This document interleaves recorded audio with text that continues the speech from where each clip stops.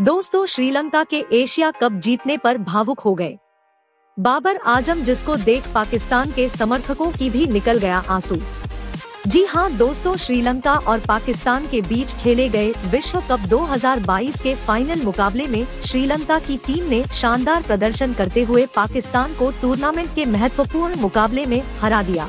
लेकिन इस टूर्नामेंट के फाइनल मुकाबले में श्रीलंका की टीम जीतने के बाद बेहद खुश दिखाई दे तो वहीं दूसरी तरफ़ पाकिस्तान की टीम मुकाबला को हारने के बाद बेहद निराश देखे दी, जिसमें कप्तान बाबर आज़म और उनके साथ में मोहम्मद रिजवान प्रसिद्ध रूम में भावुक होकर रोते हुए दिखाई दिए, जिसको देख पाकिस्तानी समर्थक भी रो पड़ी थी।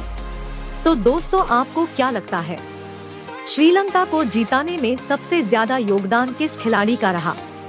अपनी राय कमेंट करके ज़रूर बताइए और ऐसे ही शानदार न्यूज़ के लिए हमारे यूट्यूब चैनल को सब्सक्राइब करना बिल्कुल ना भूलें।